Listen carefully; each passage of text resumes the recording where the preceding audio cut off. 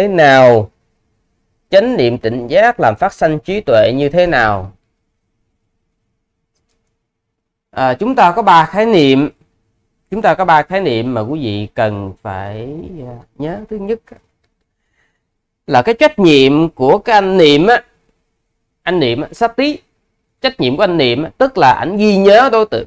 Ảnh ghi nhớ cái đối tượng. Cái nhiệm vụ cái bổn phận của ảnh là ảnh ghi nhớ đối tượng ví dụ như là khi quý vị đang thực hành tứ niệm xứ thay vì quý vị nhớ đến tứ niệm xứ quý vị lại nhớ đến nhà cửa nhớ đến chuyện này chuyện kia.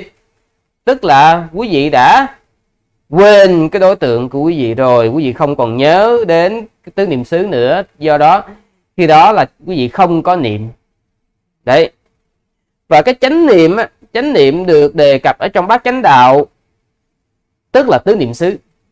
Ừ còn cái sự chánh niệm mà trong các trường hợp còn lại thì bao gồm luôn cả chỉ và quán.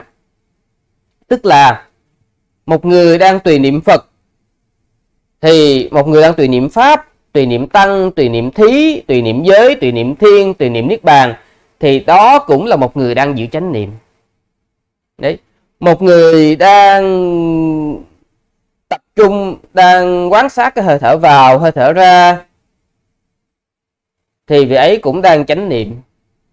Sư đang dựa theo um, đại diễn giải ha dựa theo đại diễn giải đang dựa theo kinh đấy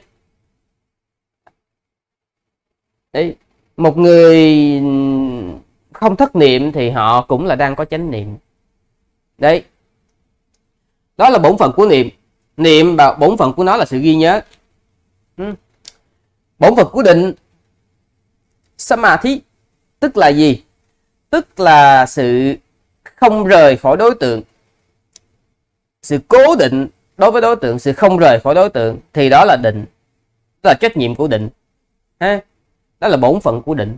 Tức là khi chúng ta tập trung vào một đối tượng nào đó rồi, thì chúng ta không chạy ra khỏi đối tượng đó, chúng ta ở yên ở yên cái chỗ đó ở yên cái chỗ đó không chạy ra khỏi chỗ khác nó ở cố định cái đối tượng đó nó được cố định thì đó là trách nhiệm của anh định ừ. còn cái định cho bát chánh đạo đó tức là 32 đề mục à, là 40 đề mục thiền chỉ samatha 40 đề mục thiền chỉ ừ. còn trách nhiệm của anh tuệ đó trách nhiệm của anh tuệ tức là ảnh soi sáng trách nhiệm của tuệ tức là soi sáng ừ. à, do đó, cái ờ, cái niệm cái định và cái tuệ ba anh nó khác nhau ba anh khác nhau chứ nó không có giống nhau uhm.